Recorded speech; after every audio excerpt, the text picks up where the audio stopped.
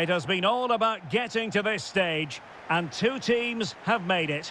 I'm Derek Rae, and I'm joined for commentary by Stewart Robson. We're just moments away from kickoff time in the UEFA Europa Conference League final.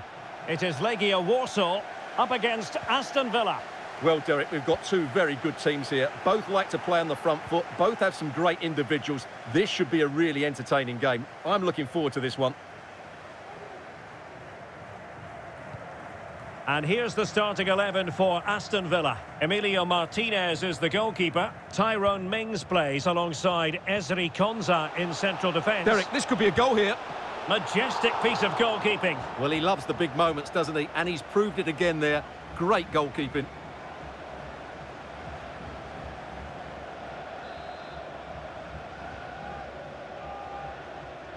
And deciding to go short with this one. And cuts inside. Nicely cut out.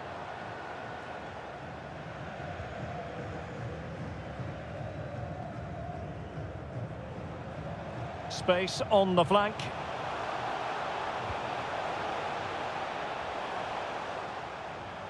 This looks promising. Must be!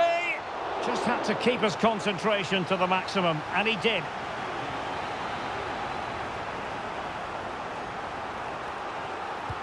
Now sending it in.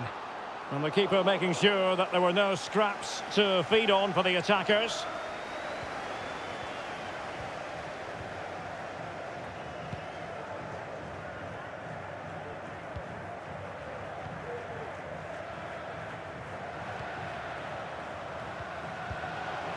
And gobbled up with ease by the keeper.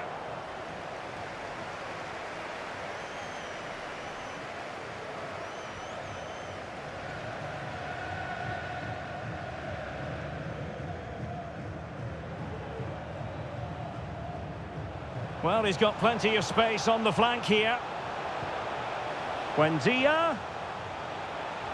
Firing it towards goal. Will this corner bear fruit for them?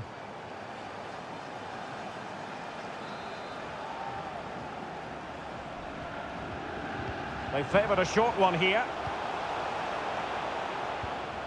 Konsa. No degree of difficulty at all for the keeper. Slisz. Now Kapustka.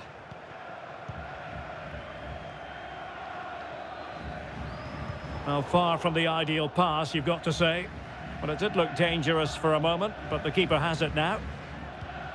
Well, as you can see, Aston Villa have really dictated the play. But unless they start passing it with more penetration, they'll struggle to win this game, which will be a major disappointment. Breaking at pace.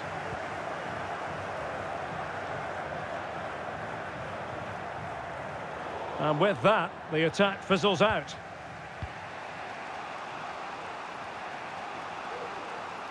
Well, they're on the scent of something positive. But they dealt with the threat posed.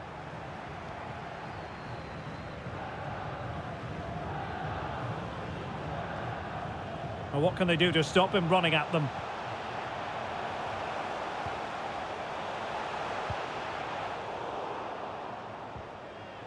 The high press was on, and the chance is on. And the whistle is sounded for half-time in this game.